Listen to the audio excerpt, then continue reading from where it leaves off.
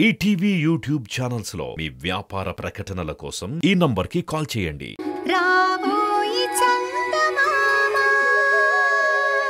నిజమే చంద్రిక. నా వల్ల స్నేహకి చాలా అన్యాయం జరిగింది. అదైతే నిజం. ఏదో రకంగా తను బాగుంటే అంతే చాలు. దానివల్ల దానివల్ల తన గర్భసంచి తీసేయాల్సి వచ్చింది. తీసేయాల్సి వచ్చింది. ఏ ఆడపిల్లకి జరగకూడని అన్యాయమే జరిగిందండి.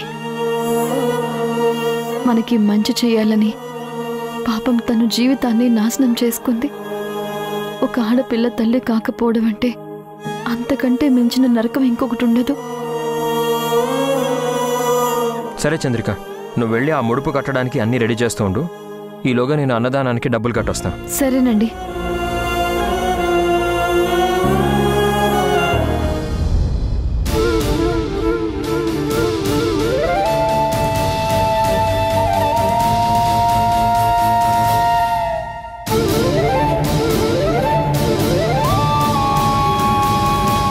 తప్పుడు ఆలోచనలు మనసులో పెట్టుకొని సరిదిద్దమని ముడుపులు కడుతున్నావా? ఆ?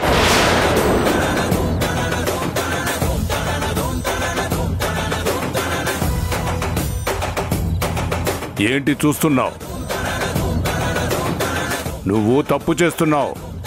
నీకు తెలీదా నీ తప్పేమిటో?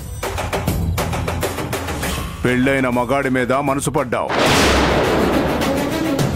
అది తప్పని తెలిసినా నువ్వు అదే ధ్యానంలో బతుకుతున్నావు.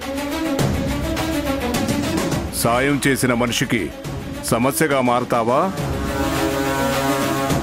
ప్రాణం పోసిన మనిషికి ప్రాణాంతకంగా మారతావా?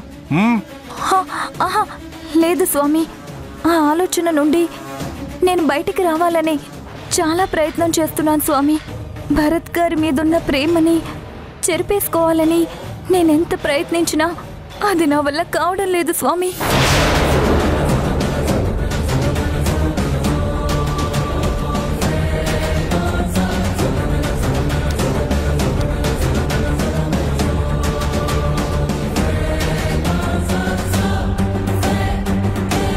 చంద్రిక భరత్లు బాగుండాలని ఒక పక్క అనిపిస్తుంది.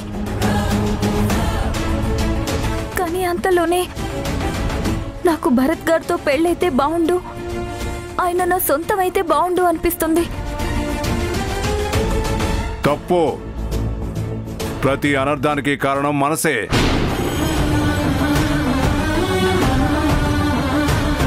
ఆ మనసుని అదుపులో పెట్టుకుంటే జీవితం బాగుంటుంది లేదంటే అందరి జీవితాలు తలకిందులవుతాయి.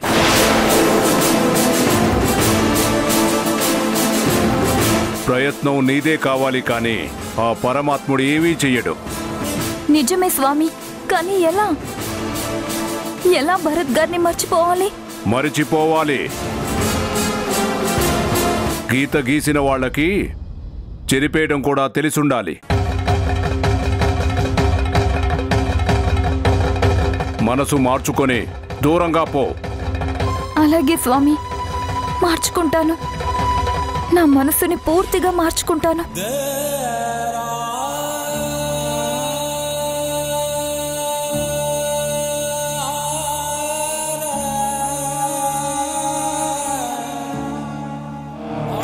ఏంటి భగవంతుడా?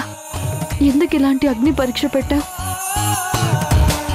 ఎందుకు పాపం స్నేహ జీవితాన్ని ఇలా చేశావు భరత్ గారి మీద ప్రేమని చంపుకోలేక మనసుకి సర్ది చెప్పుకోలేకపోతున్నా స్నేహకి తన పరిస్థితి గురించి తెలిస్తే తను అమ్మ కాలేని పరిస్థితి గురించి ఇప్పుడు తెలిస్తే ఏమవుతుంది?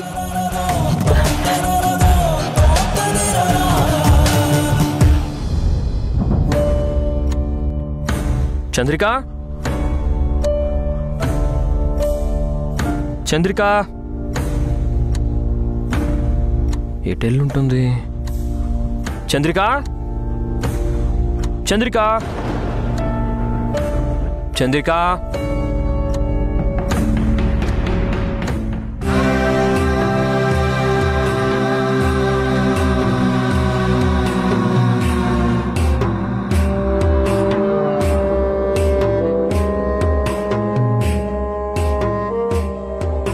ఏంటి చంద్రిక?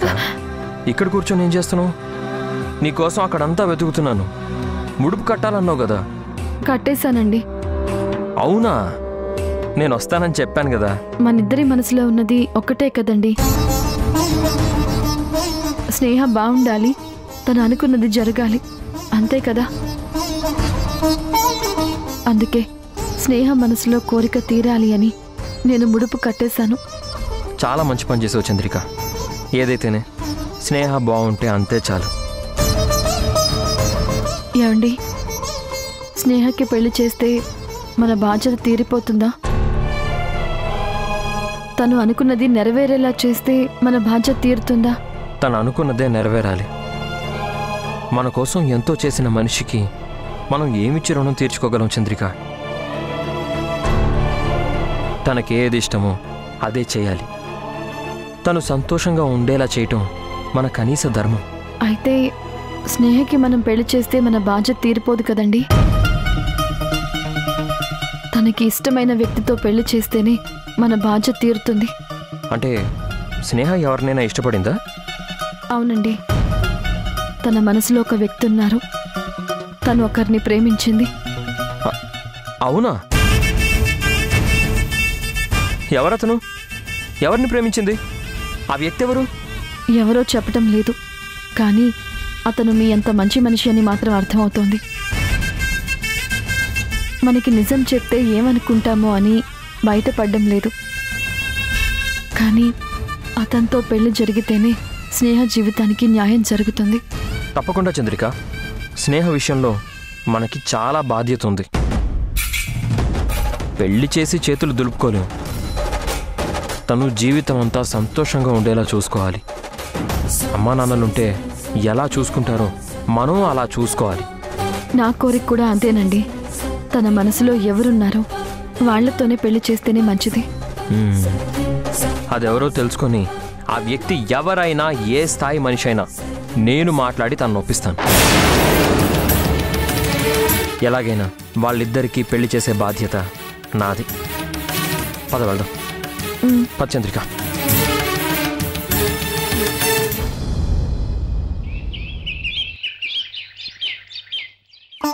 పంతులు గారు మీరు పంపించిన ఫోటోలు చూస్తున్నాను.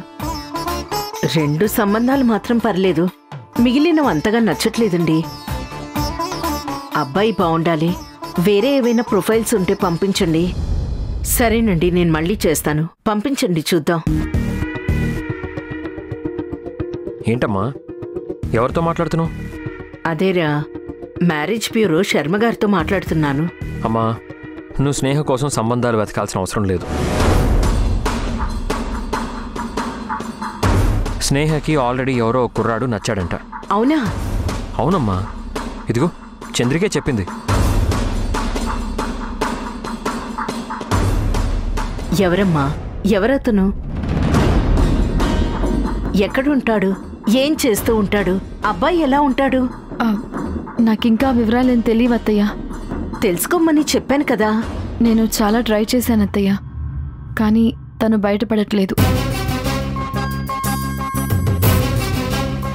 మీరు అడగమని చెప్పినవన్నీ తను మెల్లగా ఎంక్వైరీ చేశాను. కానీ తను ఎక్కడా బయటపడడం లేదు.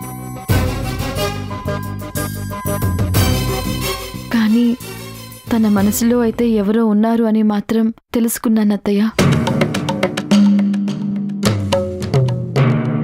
అందుకే మీరు పెళ్ళి సంబంధాల గురించి మాట్లాడినా తను రియాక్ట్ అవ్వడం లేదు.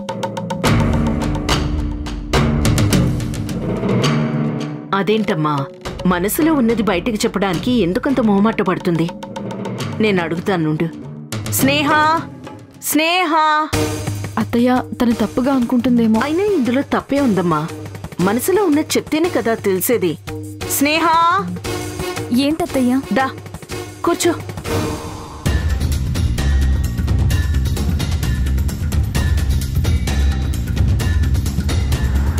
ఏమ్మా నీ మనసులో ఉన్నది మాతో పంచుకోటానికి ఎందుకంత ఫీల్ అవుతున్నావు? మేవేం నీకు పరాయి వాళ్ళం కాదు కదా?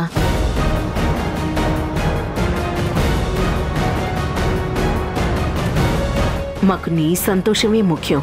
నీకోసం ఏం చేయటానికైనా మేమెప్పుడూ సిద్ధంగానే ఉంటాం. ఆ విషయం నీకు తెలుసు కదా? అవునత్తయ్యా ఇప్పుడు కాదని ఎవరన్నారు? నేనలా అనలేదే? అలా అయితే నీ మనసులో ఉన్నది మా దగ్గర చెప్పకుండా ఎందుకు దాస్తున్నావు? నేనా? నేనేం దాచాను? నేనేం దాచలేదే? నువ్వు ఎవరినో ప్రేమించావు కదా? మరి అతను ఎవరో ఏంటో నువ్వు చెప్పకుండా దాచావు కదా. ఏంటి స్నేహ? చెప్పు. నిజంగా నీ మనసులో ఎవరు లేరా?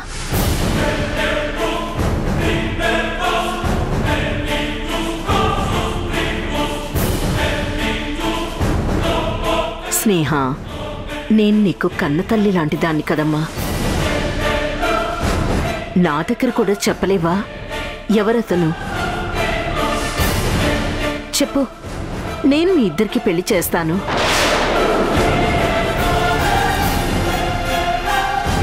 అయ్యో అలాంటిదేం లేదత్తయ్యా. మీ దగ్గర చెప్పడానికి ఏముంది చెప్పండి. మరి నువ్వెవరినో ప్రేమించావని చంద్రిక అంటోంది?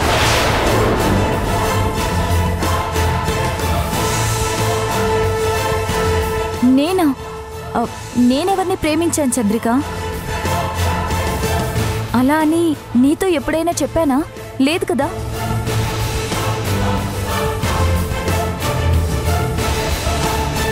నువ్వు చెప్పకపోయినా నీ మనసులో ఏముందో చంద్రిక తెలుసుకోగలదు స్నేహ.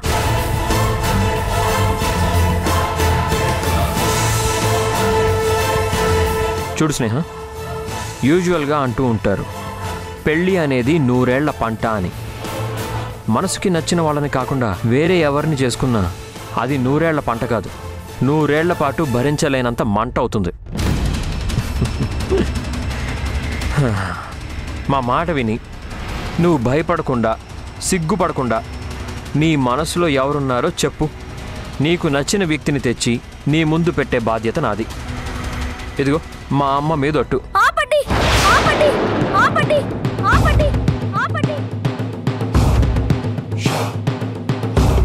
ఎందుకు అనవసరంగా ఒట్లు వేస్తున్నారు? ఇలా అయిన దానికి కాని దానికి ఒట్లు వేయడం చాలా తప్పు.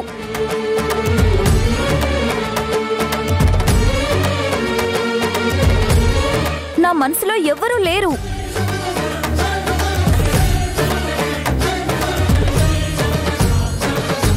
అనవసరంగా మీరు లేని ఉన్నట్టు కల్పించుకుని మీరు ఫీల్ అయి నన్ను బాధ పెట్టకండి.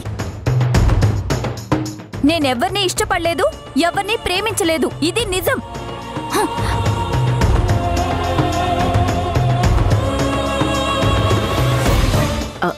ఇదేంటమ్మా? ఎవరిని ప్రేమించలేదని అంత క్లియర్గా చెప్తోంది కదా.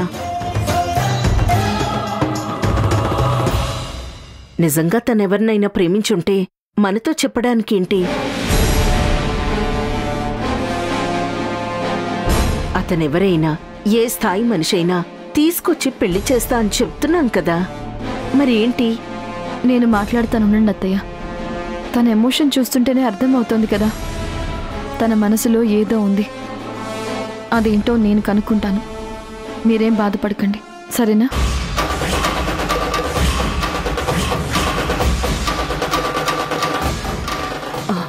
ఏంట్రా ఇది?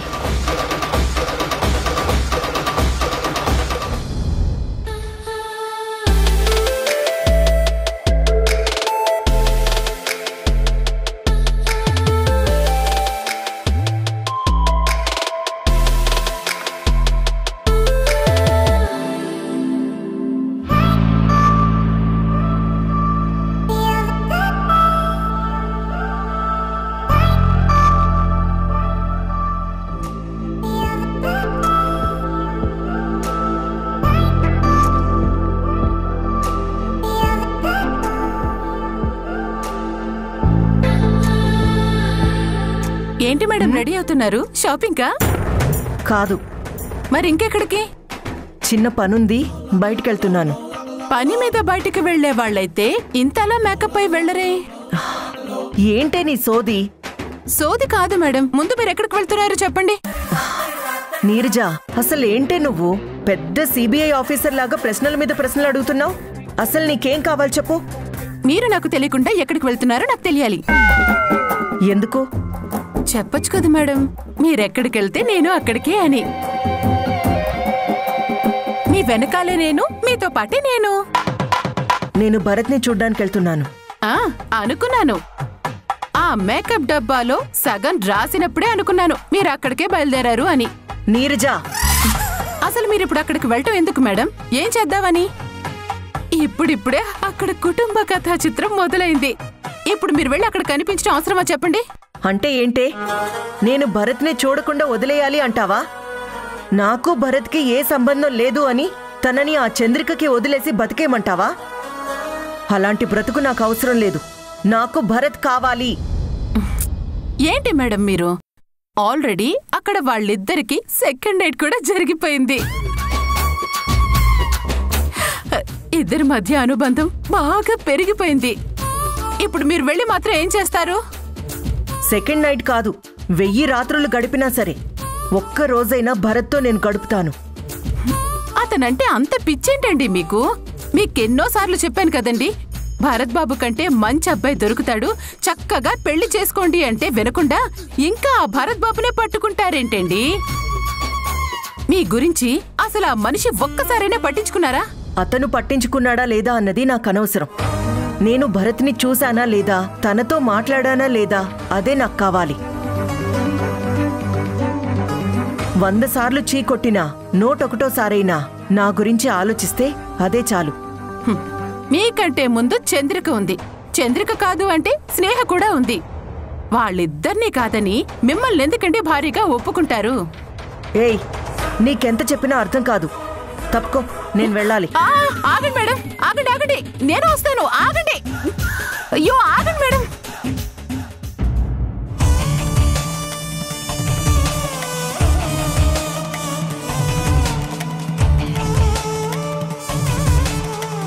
తప్పు తప్పు ప్రతి అనర్థానికి కారణం మనసే. మనసే.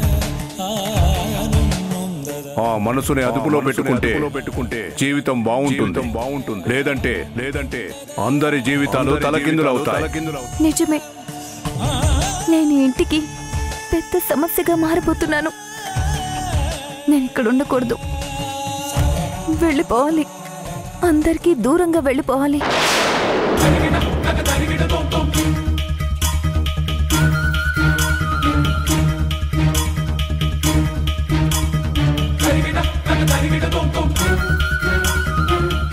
చంద్రిక ఏంటి నువ్వు చేసిన పని? ఎందుకు అత్తయ్య గారితో అలా చెప్పావు? ఎందుకు నా మనసులో ఎవరో ఉన్నారని వాళ్ళకి అబద్ధం చెప్పావు? ఏంటి? అబద్ధమా? అవును అబద్ధమే. నా మనసులో ఎవరూ లేరు లేరు లేరు. ఎవరూ లేరా? నువ్వు అబద్ధం చెప్పొచ్చు స్నేహ. కానీ నీ కళ్ళు అబద్ధం చెప్పవు. ఆ కన్నీళ్ళు అబద్ధం చెప్పవు స్నేహ. ఏ కారణం లేకుండా కన్నీళ్ళు వాటంతటవే రావు.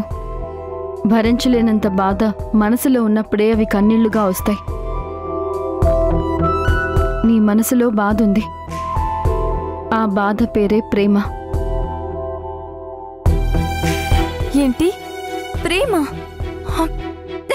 నేను ప్రేమించిన దాన్నే అయితే మా అమ్మ నాన్నలు చూపించిన సంబంధం చేసుకోవడానికి ఎందుకు ఒప్పుకుంటాను? ఈ ప్రేమ అప్పటిది కాదు. కానీ ఆ తర్వాత పుట్టుండొచ్చు కదా. చూడు స్నేహ నాకు ప్రేమ గురించి తెలుసు.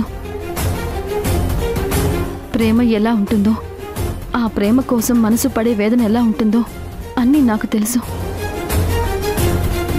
భరత్ గారిని నేను పెళ్ళికి ముందు ప్రేమించలేదు.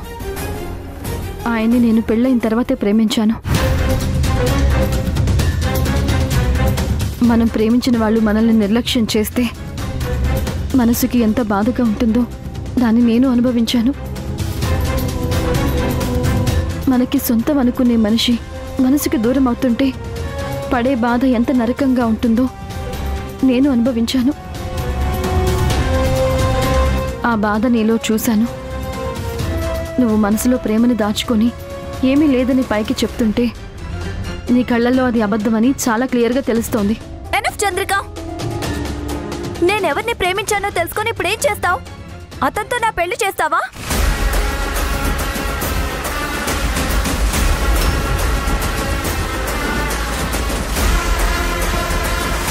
మీరు చేస్తానన్నా సరే నేను చేసుకోవడానికి సిద్ధంగా లేను. ఎందుకంటే నా జీవితంలోకి ఎవరిని ఆహ్వానించలేను. నాకు అసలు పెళ్ళే వద్దు. నన్ను నన్నుగా బ్రతకనివ్వండి.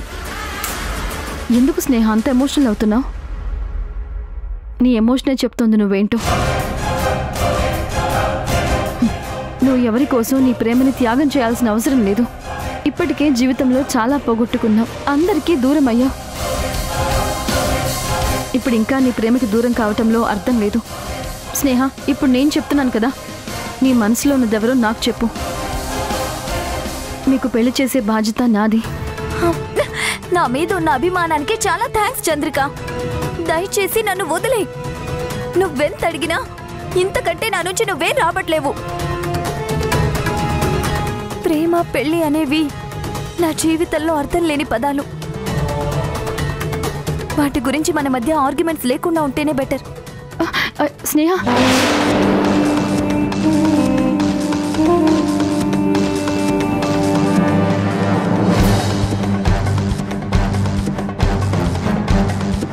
ఎందుకు పారిపోతున్నావు స్నేహ?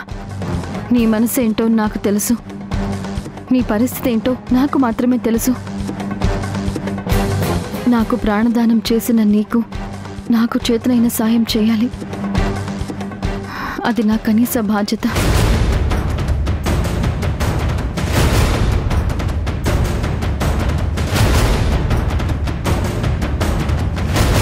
ఏంటి చంద్రిక? ఎందుకంత టెన్షన్ పడుతున్నావు? ఇంక నుంచి పాప గురించి అంతా నేనే చూసుకుంటాను. మీరు పాప బాధ్యత నా మీద వదిలేయండి అని చెప్పింది కదా. ఆ అవకాశాన్ని అమ్మకి ఇచ్చేద్దాం. కావాలంటే ఇంకో పాపని కూడా కనేసి ఇచ్చేద్దాం. వదలండి. పాపకి జ్వరం వచ్చిందండి. కాస్త ఒళ్ళు వేడిగా ఉంది. ఇప్పుడు అత్తయ్య గారి దగ్గర ఉండదు. నేను పక్కనే ఉండాలి. ఈటీవీ విన్ యాప్ రోజుకి కేవలం రూపాయి మాత్రమే. ఇప్పుడే ఈటీవీ విన్ యాప్ డౌన్లోడ్ చేసి సబ్స్క్రైబ్ చేయండి.